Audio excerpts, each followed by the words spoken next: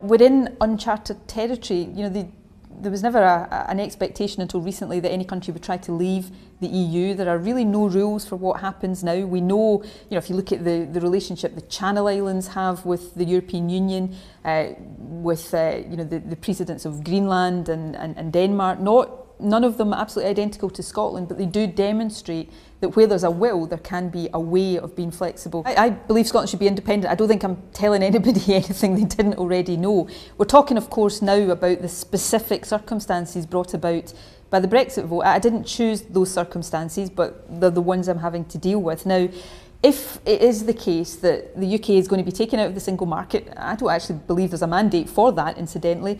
If it's the case that reasonable proposals that Scotland puts forward to try to uh, protect our own interests are, are not listened to, then yes, I do think Scotland would have the right to make a decision about whether it wanted to stay with a UK that was heading over a, a cliff economically, because I think that's what it would be doing, or whether Scotland wanted to choose a different path. I, I think it is the right of people in Scotland in those circumstances to have that choice. If we can find a way of keeping ourselves in the single market, let's explore that. Am I going to stop believing that Scotland should be an independent country? No. Uh, I think Scotland will become independent in, in the future. This is about the here and now.